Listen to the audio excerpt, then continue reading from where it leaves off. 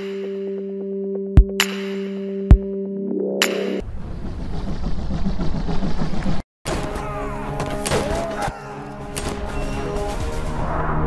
15 days till Indian independence, and the situation has spiraled out of control.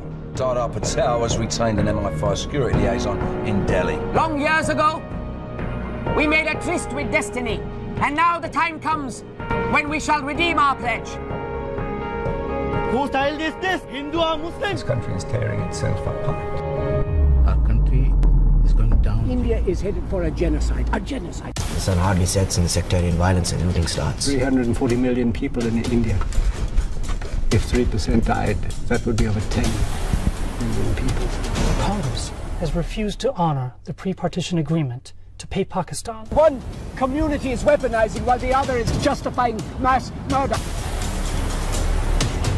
His assassination was, in many ways, a sacrifice for his country and for its people. History is tested to great men who became even greater after their death. Abraham Lincoln is such a man, and there is one man in our country who is comparable to Lincoln. What if Gandhi's assassination doesn't play like Lincoln? Who said kill Gandhi? You can't rule out the possibility of a single assassin. Baba!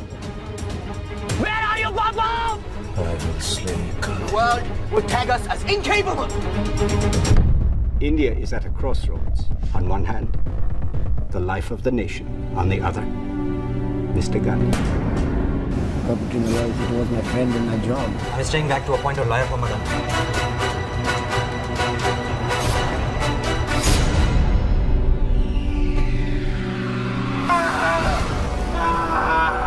should be no. It's a question of Mr. Gandhi's life. The death of great people never goes waste. The future will be brighter. You were assigned to investigate the murder with only one purpose